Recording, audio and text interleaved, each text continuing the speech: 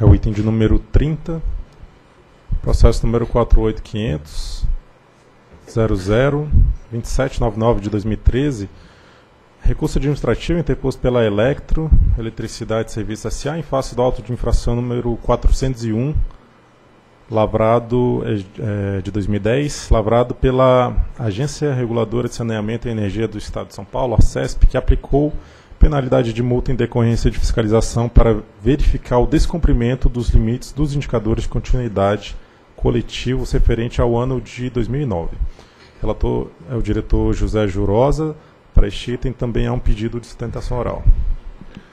No período de 15 de março a 15 de abril de 2010, a Arcesp realizou fiscalização com o objetivo de verificar o cumprimento pela ELET das MEDEC FEC relativo ao ano 2009 e foi registrada uma não conformidade, constando o relatório de fiscalização da Arces número 3032, integrante do termo de notificação dos, do 2018, de 2010, encaminhada a eletro na mesma data e recebida pelo concessionário em 28 de 4 de 2010.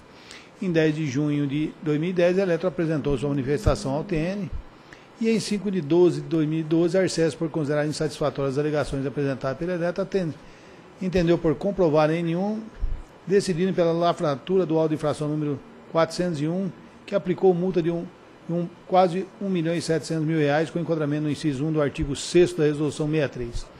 Em 14 de janeiro de 13, a Eletro protocolou junto ao SED seu recurso administrativo apresentando suas considerações solicitando a conversão da multa em advertência. Em 12 de 4 de 13, a Arcesso, em juízo de consideração, decidiu manter o ordem auto de infração, negando o provimento ao recurso apresentado. Na mesma data, Arcesso deu ciência da decisão a Eletro informou do recurso ser encaminhado para apreciação da ANEL. Em sorteio realizado em 6 de maio de 15, o diretor Edivaldo foi designado como relator do processo. Em novo sorteio realizado em 23 de 4 de 14, fui designado o novo fui designado em novo sorteio como relator do processo decorrente do término do mandato do diretor Edivaldo. Em 9 de maio de 15, por meio de minha assessoria, solicitei a CFE a análise dos argumentos apresentados no concessionário pela Arcesp convida a subsidiar a decisão da diretoria.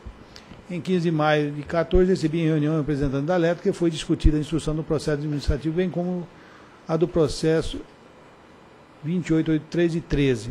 Em 30 de junho de 15, a SFE apresentou a sua análise. Em 27 de 8, por meio de minha assessoria, solicitei a análise da PGE, que manifestou em 19 de 10 de 15, por meio do parecer número 650. É o relatório. A sustentação oral será feita pelo senhor Claudinei Rodrigues Domingos, representante da Electro. Boa tarde. Mais uma vez agradecendo pela oportunidade de podermos manifestar. Agradecendo também ao Dr. Jurosa por ter nos recebido.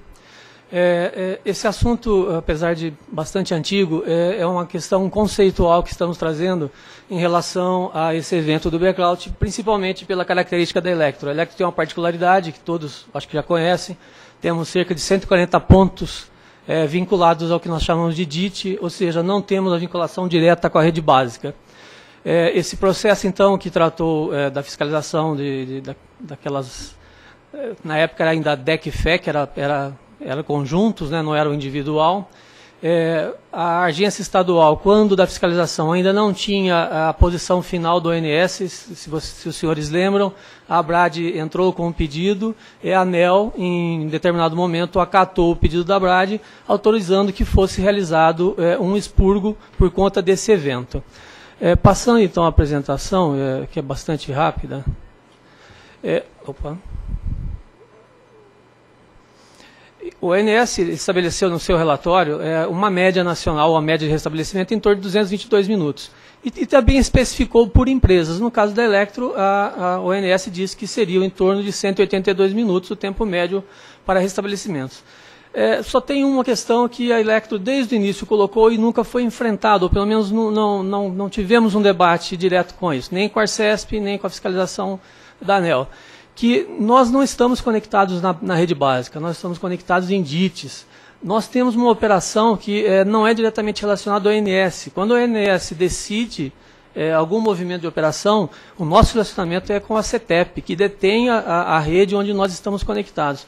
Então, esses 182 minutos, apesar de fazer parte de um relatório do ONS, que entendemos que é o momento em que o ONS é, decidiu por liberar a carga ou decidiu entregar à CETEP aquela alimentação. Mas a Electro, por força de controles e acordos operacionais, mesmo que estivéssemos à disposição, a equipe de prontidão não conseguiríamos restabelecer.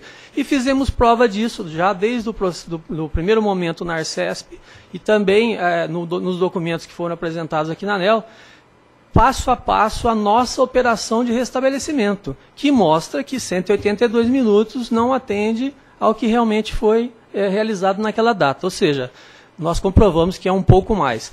É, o valor de, de, de, desse, desse tema em relação à multa total é cerca de 30%, mas o problema é conceitual. Eu acho que todos os diretores aqui da, da, da ANEL sabem o que é, os pontos de DIT é, têm é, causado de impactos na Electro. Já podemos falar da, da, da divisão das perdas da rede básica, que caiu para a Electro no momento logo, logo posterior ao nosso evento tarifário, que criou um grande impacto na empresa. É, a fiscalização de, de fator de potência, que a Electro foi a única empresa do Estado de São Paulo a ter uma penalidade. As demais empresas de São Paulo foram fiscalizadas pela Arcesp, nós pela ANEL, e toda a nossa caracterização de ser ligado em DIT, fizemos toda a manifestação, mesmo assim não tivemos sucesso. Então, essa questão que estamos apresentando é conceitual, e gostaríamos dessa avaliação. Eu, infelizmente, não tivemos condição de conhecer o voto do relator. Nós tentamos é, uma nova reunião, mas não foi possível, até porque, é, como esse tema não foi enfrentado, é, parecia não haver fatos novos. Então, eu tive alguns contatos com a assessoria do diretor e realmente não aparece fato, no, fato novo. Até mesmo a Procuradoria também não poderia se posicionar, porque não enfrentou esse ponto. É, então, é, vamos é, só em relação aos argumentos, na nota técnica expedida então pela SFE, eles dizem o seguinte, olha, a determinação é, dada à SFE e às agências é para que considerem o que foi decidido num, num despacho da ANEL, ou seja, retirem é, é, os valores apurados por conta do blackout. E eles também dizem que se vê impossibilidade de dar guarida aos outros argumentos. Mas eu, nós entendemos que esse despacho da decisão da ANEL, naquele momento do, do pedido da BRAD, foi sim uma determinação para que fosse é, observado pelas fiscalizações esse evento. Agora, nada impede que, é, quando a Electro, apenas a Electro apresentou motivação para discutir. Por quê? Acho que as outras não tiveram o impacto que nós tivemos. Então, por conta disso, oferecemos essa posição para que fosse discutido. Então, os nossos fundamentos aí são de que a decisão não pode impedir o tratamento específico e justo né, aos agentes, entendemos que, que merecemos esse tratamento. A Electro não conseguiria restabelecer suas cargas por forma alguma antes de atender o, o acordo operacional. A operação real dos conjuntos elétricos foram feitos em tempos diferentes e a duração média para restabelecer sistemas abaixo da rede básica, com certeza, é superior ao valor apresentado pelo ONS. Então, sendo assim, o preço da Electro é utilizar o valor efetivo de cada operação realizada conforme comprovamos no processo. Como, infelizmente, a gente não conseguiu é, ter acesso ao voto do relator, até pela condição é, de emergência que foi colocado o tema, a princípio, no mínimo, a gente pediria que pudéssemos voltar a discutir o assunto e que fosse retirado de pauta. Ou então, se os senhores diretores quiserem discutir. Eu agradeço a oportunidade. Procuradoria. Procuradoria reitera o parecer 650-2015, opinando pelo conhecimento e desprovimento do recurso. O recurso merece conhecimento por tempestivo e trata de recurso administrativo interposto pela Elétrico fácil alta infração número 401 da Arcesp, que aplicou multa de pouco mais de 1 milhão e 600 mil reais fundamentada na resolução 63. No recurso, a Eletro discorre sobre o impacto causado pela ocorrência verificada em 10 de, de 11 de 2009 no, no SIM e seus indicadores de continuidade coletiva e outros eventos que contribuíram para as transgressões verificadas nos referidos indicadores e também na dosimetria adotada quanto à elaboração do auto infração.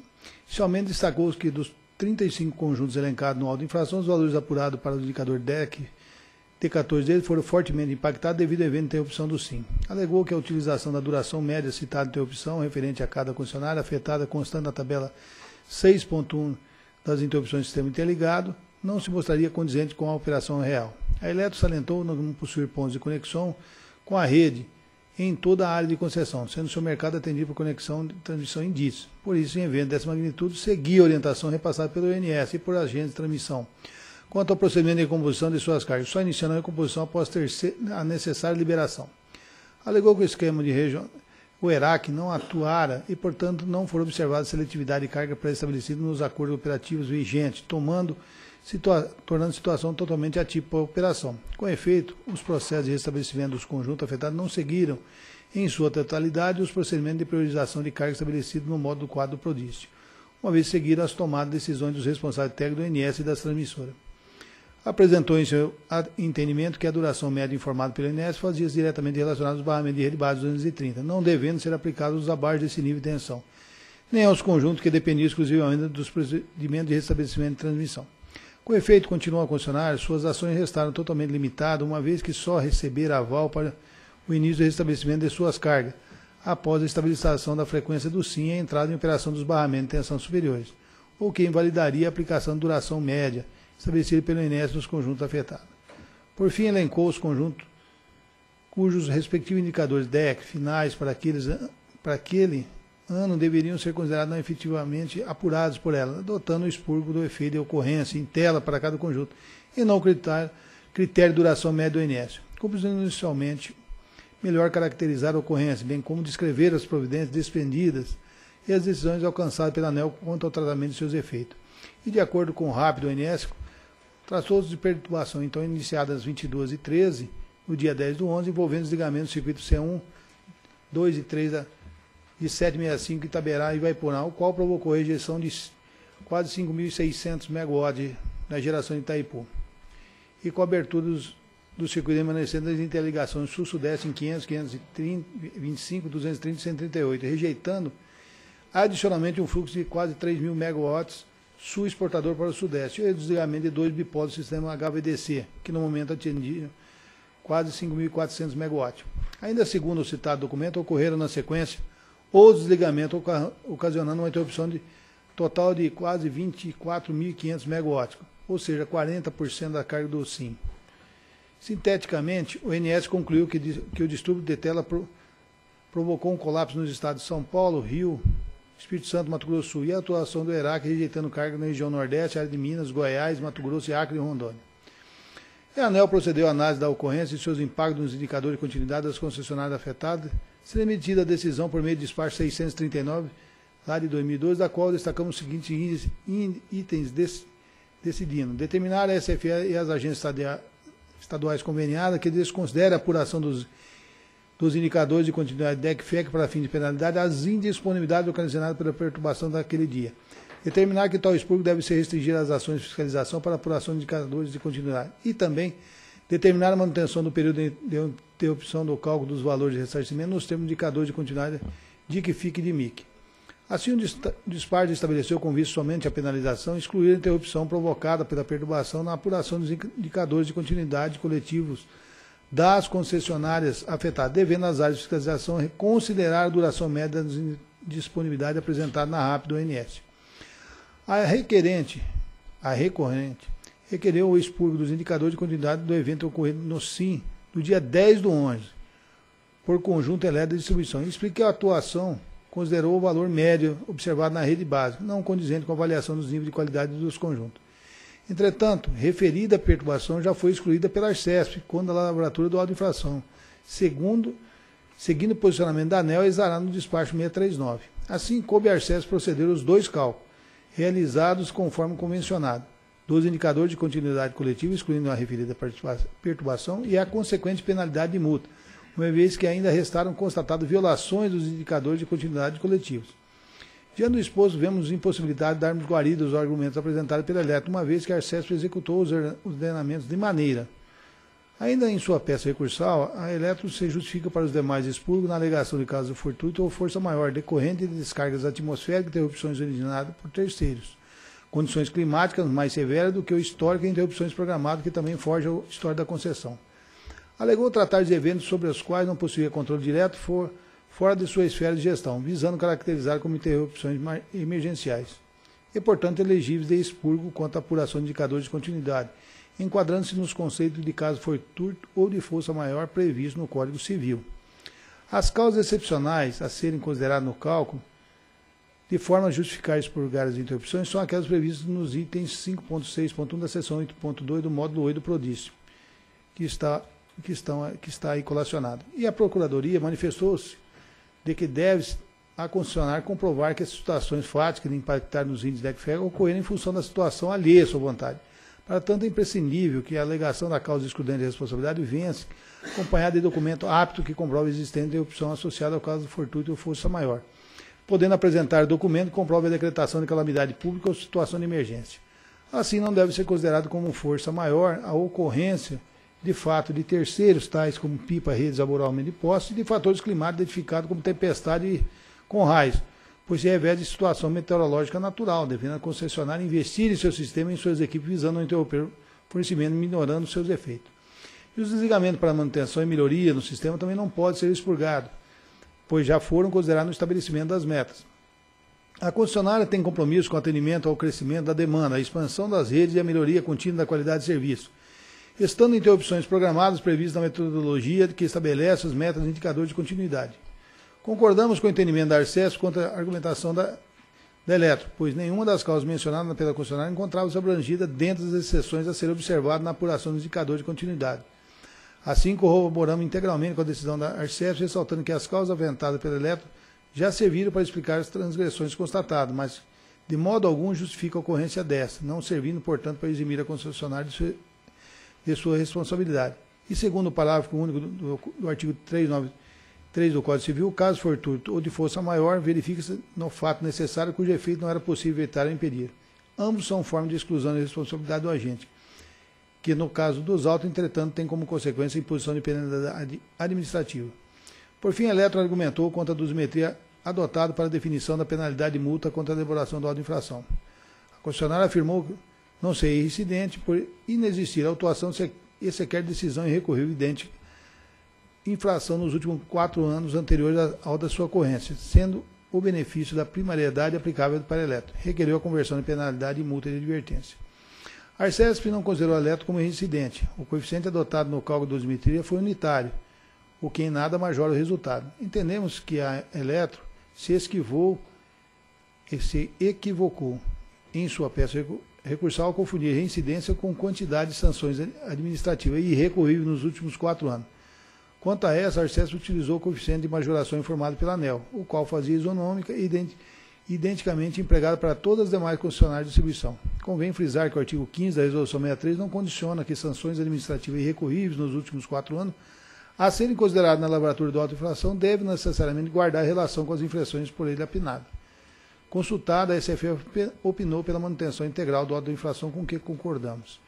Diante do exposto do que consta do processo em tela, voto por conhecer e não dar provimento ao recurso administrativo interposto pela Eletro, em face ao auto de infração número 401 e, por conseguinte, manter a penalidade de multa de R$ 1.698.398,41. Valor esse que deve ser recolhido em conformidade com a legislação vigente. É o voto. Em discussão. Em votação. Eu voto com o relator. Também voto com o relator. Também acompanho o relator. Também voto com o relator. Proclamo que a diretoria decidiu por conhecer e não dar provimento ao recurso administrativo interposto pela Electro é, em face do auto-infração 0401-TN 2018-2010 e, por conseguinte, manter a penalidade de multa no valor de R$ 1.698.398. Próximo item.